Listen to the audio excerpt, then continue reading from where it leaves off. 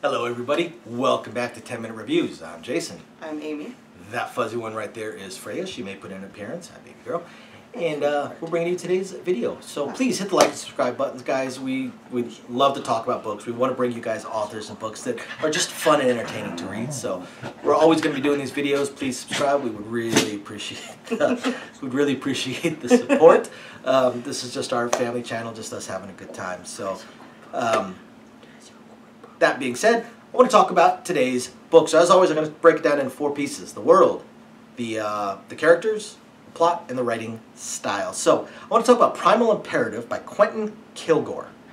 And this is a yes, I do. She said the fuzzy one says I'm not. She shook her head, but I am. We're going to talk about Primal Imperative by Quentin Kilgore. So this is a fantasy novel um, with um, we'll just say multiple ro romantic relationships. Entanglement. And they, ent- yo, they get entangled. They definitely get entangled with the sheets, with the pillows. Um, and uh, it is a fantasy, yeah, fantasy book. Um, I, I, I don't want to call it a lit RPG book because there are no there aren't stats and levels and stuff like that. Uh, but there are definitely non-humans, and there is magic. So uh, yeah, I guess your swords and sorcery kind of fantasy world. Now the world itself, so it's a uh, alternate universe kind of thing. Once again, you've got the human that is transported upon death into um, another world and another body, and the this world is interesting because it's it's a larger kingdom, but it's a kingdom of small towns.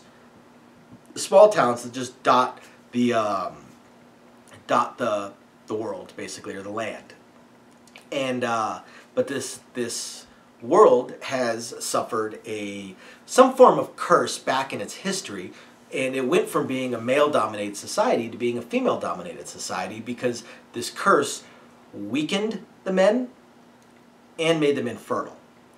Uh, but it weakened them to the point where some of them couldn't even couldn't even move. So hunting eventually got taken over by the women. Uh, all the jobs eventually got taken over by the women, and the uh, the kingdom itself and the rule of it eventually got taken over by the women. And so David pops up, and obviously the population has been declining. Um, and they're also suffering a lot more attacks from the monsters because the, as the population declines, the women just aren't enough. There's just not enough of them to to manage to defend and to hunt and all that. And the kingdom is ruled by a queen that supposedly she has outlawed so many things. She got that the kingdom almost has a political party slash religion that is actually anti men. Um, it blames them for the curse in some way, shape, or form. Doesn't believe men are needed. Believes that immaculate conception will occur to continue the population. Um, so has outlawed many, many things. Almost anything man related. Men are no longer allowed to hunt. Men are no longer allowed to do all the what few men remain. So David wakes up outside this small village, rescues a, a young lady and her daughter, and uh, uh, gets taken to the village that has, I believe, three surviving men, all old or weak, um, but still a couple of them are still pretty badass. And uh, and is ruled. The local ruler is a cat girl, a rather well endowed cat girl from from the descriptions of the uh, of the the book. Um, and David is an actual, virile, strong, powerful um, man. So he almost feels obligated to try and help. So he starts figuring out new ways of hunting and gets the men and the women involved in it. This is not one of those those you know man great woman weak kind of things. He is he himself is fairly strong, but he requires the help of the other men and the other women to do things, to do just about everything. But there does seem to be some form of prophecy involved in a way uh, with him, and he has these these. Um, I was going to say urges, but that'd be kind of obvious. He's well, he's in a town full of women that haven't seen a man that has any, uh, let's say, stiffness to him in decades or longer. Um, but he has these these. It's almost like almost like a, um, a voice in his head at times that is pushing for that is pushing basically three words: hunt breed kill or hunt breed rule kind of. And then and near the end of it he ends up having these visions and he learns that he can bond to women and gain magical powers. And apparently there was this great great great ruler. In fact the original ruler of the land was a man that had bonded with multiple women and gained these these elemental magical powers, lightning, wind, stuff stuff along those lines.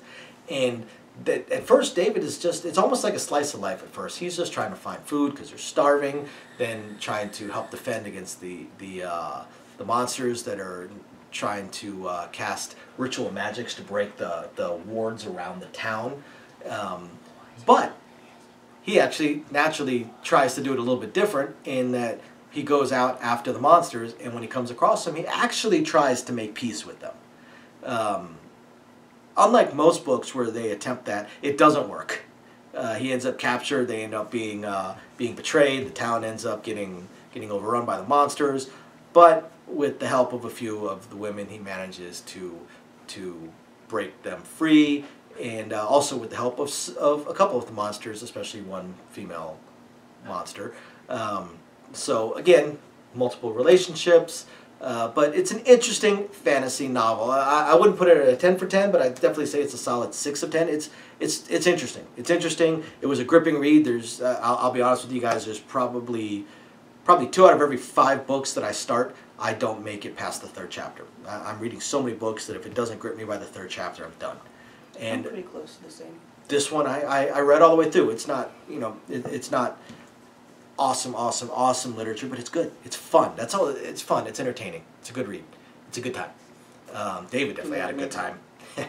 uh, but uh, but yeah, it's it's just it's fun, guys. So check it out. After you hit the like and, and subscribe buttons, check out Primal Imperative by Quentin Kilgore, and uh, yeah, have a good time. And otherwise, we will catch you guys next time. Thank you for watching. Bye. Bye now.